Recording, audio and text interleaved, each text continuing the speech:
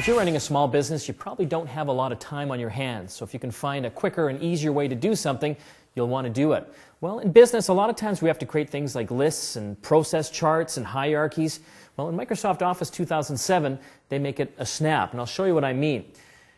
I'm going to open up a new document inside of Microsoft Word, and once I've done that, I'm going to go up to the Insert menu up top. And by going over to the Smart Art, I get a list of all sorts of different types of graphics I can use and instantly create. You can see I've got things like lists, processes, hierarchies, even pyramids. I'm going to click a pyramid.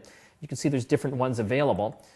And once I've done that, it comes up on screen. And here I can start entering in text. And what I'm going to do is create a, a hierarchy of the show of what I think. And of course, it's probably not this in reality. We all know that Yolanda's in charge. And we're going to put AJ down at the bottom, just for fun.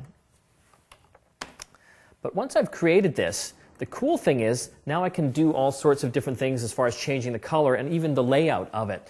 I've got up here different uh, versions of that uh, pyramid again, and just by clicking on, or mousing over it for that matter, you can see it instantly changes.